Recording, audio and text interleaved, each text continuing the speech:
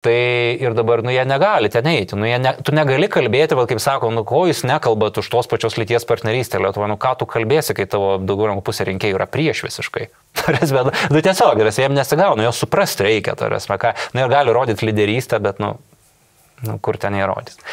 Tai viena iš jų šiaip iš tikrųjų, aš kaip matau dabar, tapatybės konstravimu yra ir čia kažkiek ir susijungia su nausėda, yra per va, būtent e, kažkokią regionų savivaldos partiją. Jiems laikas sekės gerai savivaldo ir jie visai, kad turėjo daugiausia savivaldo į merų. Ir va jų tie lyderiai, paskui nu, pastebėk, apie kuriuos mes kalbam, ir va pas e, Andrių Tapiną laidoje kalbėjom, nu tai Nesinkevičius, Nesinkevičius gal Duchnevičius merai, ar ne, tu prasme šitoje vietoje, ima iš kažkaip pat iš savivaldos, ar ne.